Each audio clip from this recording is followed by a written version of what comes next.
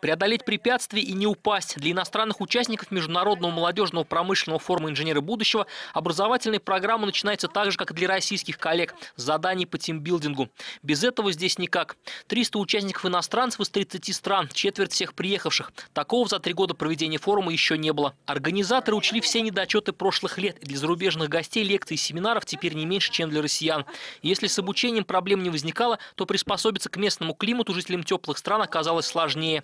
Как признались члены делегации Таиланда, сибирское лето гораздо холоднее тайской зимы. Форум замечательный. Погода хорошая, не очень холодно. Вокруг достопримечательности и замечательные виды. Все очень нравится. Жизнь в палатке, обучение под открытым небом для иностранцев – настоящая экзотика, но очень эффективная. Для меня такая форма обучения очень полезна, потому что здесь есть и физические нагрузки, и сама учеба. А когда ты просто сидишь в аудитории, то ты засыпаешь.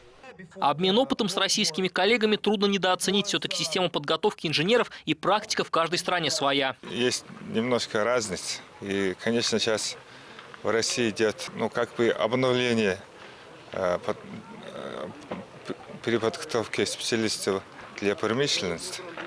Это у нас также очень важно и идет к тому, как и в России. Да. Но отсюда можно было бы изучить и применить много чего. У инженера нет национальности, говорит президент Международной комиссии Французской Федерации машиностроения Ларен Батайл. Два специалиста из разных стран всегда смогут найти общий язык.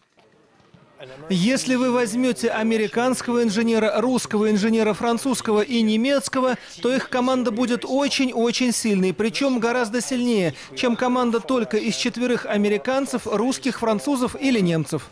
Как признаются представители крупных западных компаний, найти по-настоящему высококлассного инженера трудно не только в России, но и в Европе и других странах. А Байкальский форум помогает молодым людям набирать опыт, знания и заставляет заниматься собственным развитием.